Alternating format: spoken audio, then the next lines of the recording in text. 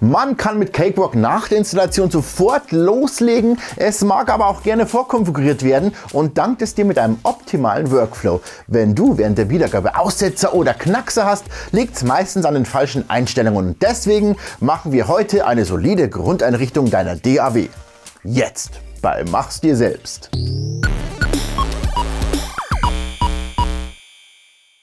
Yahoo! Die, hallo meine Lieben, der Andi von Töricht hier.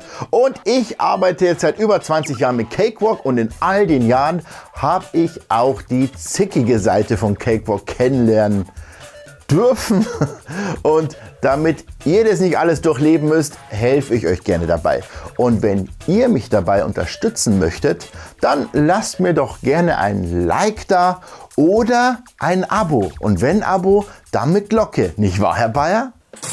Nachdem wir es also fertig installiert haben, gehen wir alle wichtigen Grundeinstellungen durch, denn nichts ist nerviger, als wenn man beim Kreativsein unter... Öffnen wir erstmal das passende Fenster unter Bearbeiten, Voreinstellungen.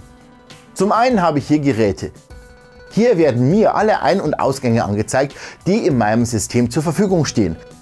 Hier kann ich gleich mal entschlacken. Mein Audio-Interface hat hier viele Ausgänge und Eingänge, die ich überhaupt nicht nutzen werde, also kann ich die auch gleich deaktivieren. Dann ist auch hier bei meiner Auswahlliste nicht mehr so viel Auswahlsalat. auch kann ich die alle umbinden. Auf 1 und 2 hängen zum Beispiel meine Kopfhörer, kann ich also auch gleich KH nennen. Sollte jetzt hier überhaupt nichts drinstehen, also keine Einträge, dann prüf mal folgendes.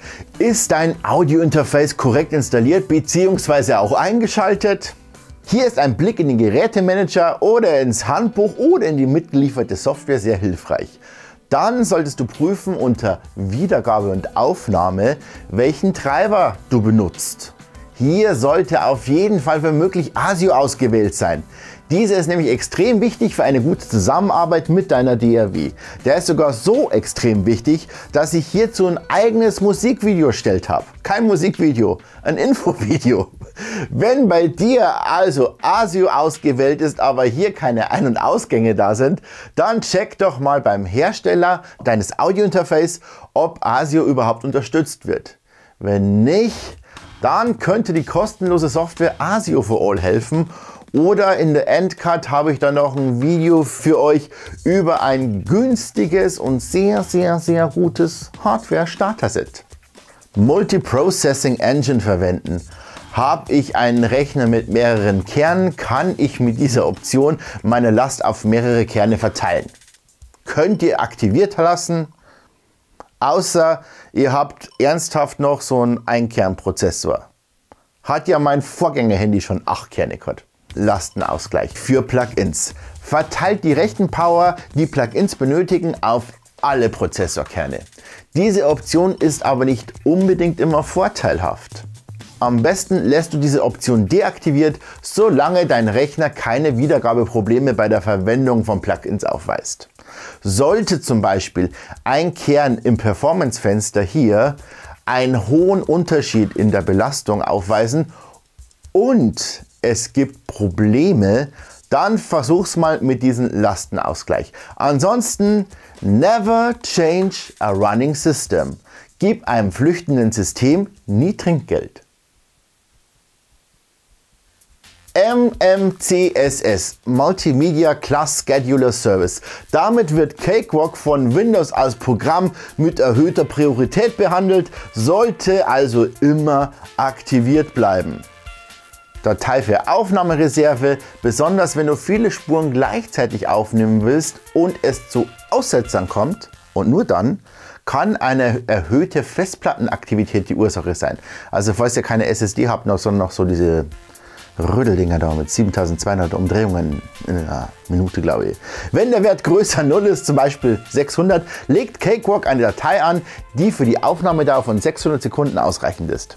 Wenn du also bei der Aufnahme vieler Spuren gleichzeitig Aussätze, Knackser etc. in der Aufnahme hast, versuch doch mal diese Option. Als Richtwert nimm dir eine Dauer, die für deinen Take locker ausreicht. Voreinstellungen für neue Projekte. Hier lege ich die Sample Rate für zukünftige Projekte fest. Umso höher diese ist, desto öfter wird das Signal pro Sekunde abgetastet. Ich arbeite vorzugsweise mit 48.000 Hertz, aber ihr könnt auch gerne noch höher gehen. Dann brauchen eure Projekte aber umso mehr Speicherplatz, umso höher diese Sample Rate ist. Ihr könnt aber auch mit nur 44.100 Hertz arbeiten, ist CD-Qualität und ist immer noch gute Qualität. Stresst euch also nicht, wenn euer Audio-Interface nur 44.100 Hertz kann. Mischlatenz. Abhängig vom verwendeten Treibermodell habe ich hier verschiedene Einstellungsmöglichkeiten. Im ASIO-Modus könnt ihr hier die Puffergröße über das Audio-Interface eigene ASIO-Panel einstellen oder auch hier. Umso kleiner, desto weniger Latenz, also Zeit, die das Signal braucht, um die komplette Signalkette zu durchlaufen. Dafür aber umso anfälliger für Aussetzer, Knackser oder Dropouts, also so, wo die Wiedergabe einfach stehen bleibt. Probiert einfach mal ein bisschen aus.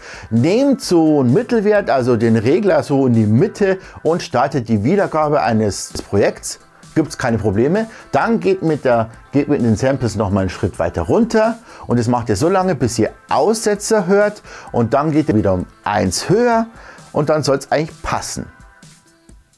Ja, Jetzt habt ihr euer Cakewalk fertig optimiert und falls ihr kein ASIO-fähiges System habt, dann checkt doch mal dieses Video hier aus über eine solide Hardware-Grundausstattung. Ja, und falls mal wieder zu viel war, dann habe ich darunter noch ein Video zum Chillen. Ne? Ja, und bis dahin, Bussi aufs Bauchibelli und Servus.